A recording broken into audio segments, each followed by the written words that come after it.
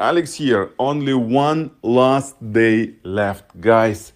This is only one day left, and the triple max load, the three time farming volume will disappear forever and go forever in the history of the project.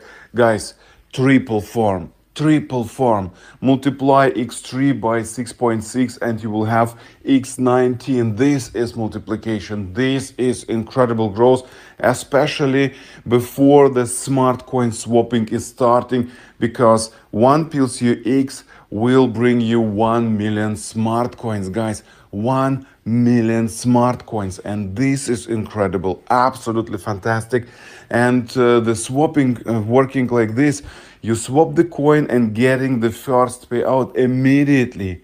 The first swapped coin you get immediately and this is and this is absolutely incredible. So be prepared just be prepared because in the next three years you will swap all the coins in the smart coins. And in this year we will create one of the biggest, one of the hugest crypto system on the crypto market, especially with our smart blockchain, with our own cards, with our own exchanges, the decentralized exchange, decentralized apps, a lot, a lot of tokens on it, and so far with a lot of own projects and this everything on our own smart blockchain guys. This will the future this is the future of the cryptocurrency market. And of course we will increase increase and again increase the community the liquidity the demand in our crypto system because everyone needs our solution. Everyone needs a card.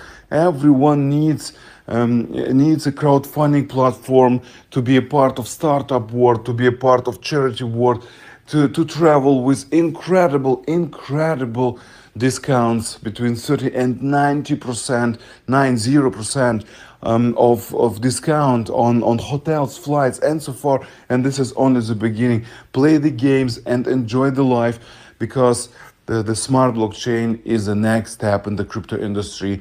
But the, your future will be decided by today.